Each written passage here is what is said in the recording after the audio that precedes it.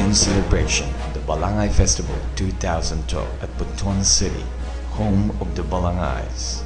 Muscle Tech Gym and Butuan Tactical Airsoft Group presents the Operation Pegasus. Operation Pegasus. Operation Pegasus.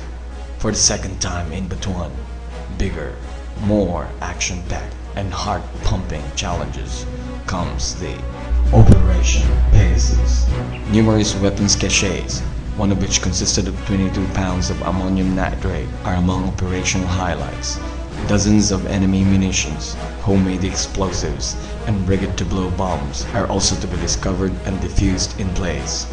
This is a 16-man team, 7 minutes, 5 magazine rule, objective-based and point system tournament on May 12 to 13, 2012 at Butuan Tactical Airsoft Group game site, front of Sports Complex, Libertad, Butuan City.